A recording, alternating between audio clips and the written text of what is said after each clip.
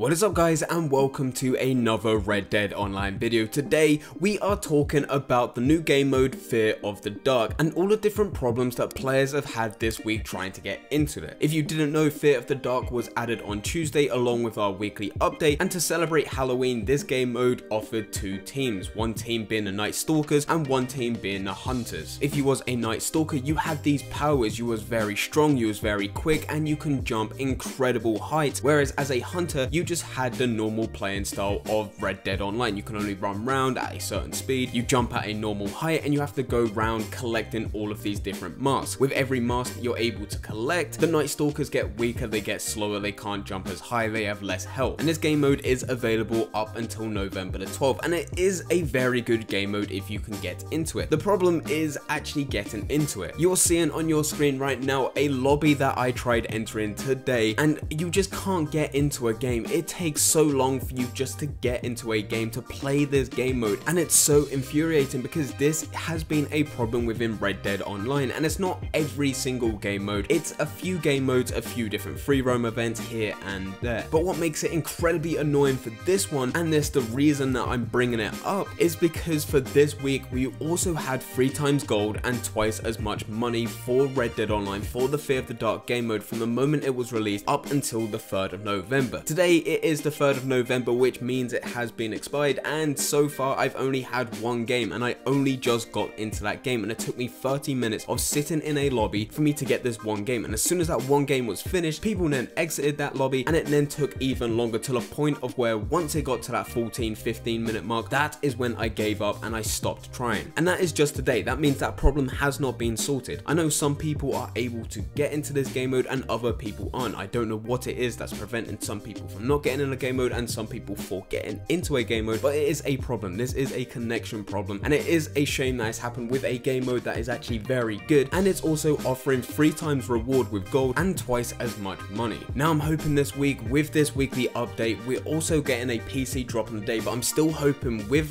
everything that's going on that Rockstar are still able to fix this problem, to fix this connection problem so players can actually play Fear of the Dark because it is a fun game mode once you finally get into it. It would also be nice nice if Rockstar understood what was happening with this game mode, what was happening with the connections, and they actually extended this three times gold and twice as much money for an extra couple of days. Now I doubt this will actually happen as this connection problem hasn't been happening for everyone, but it would be nice to see. To encourage this to happen, I have left a link in the description down below that if you have been having this problem and you can't connect with this game mode, there is a feedback form for Rockstar, and if we all tried putting something forward, it just increases the chances of this being extended. Now that's that's not going to be guaranteed. I'm just saying it increases the chances. But anyway, guys, thank you for listening to this rant video. It's an unscripted video. It's just one of those things I do every now and then once there is something that's bugging me within Red Dead Online. And this has been going on since Tuesday and I have tried getting into a lobby every single day. And today, November 3rd is the day I finally get one singular game and it is the day that there is no longer those extra bonuses for gold and also money. So it is very irritating to play through. But anyway, guys, I hope you guys did enjoy if you did enjoy, don't forget to leave a like and subscribe, but for now,